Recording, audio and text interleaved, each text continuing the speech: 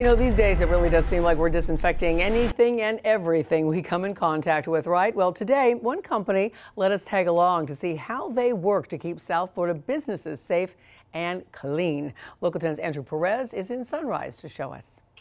This is a whole new approach to combating COVID 19. New tools, new methods, and these guys have been busy.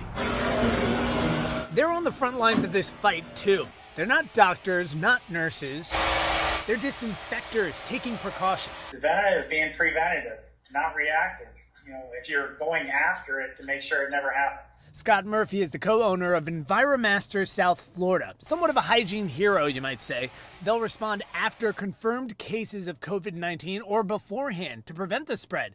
The company's been working around the clock to clean up. We're heavy in the restaurant industry and other recreational facilities. And of course, they've all closed, but now we've moved to helping assure the safety of very large condominium complexes, of course, municipalities, and grocery stores. Some of those grocery stores, like Bravo supermarkets, using the service twice a week to disinfect and kill germs.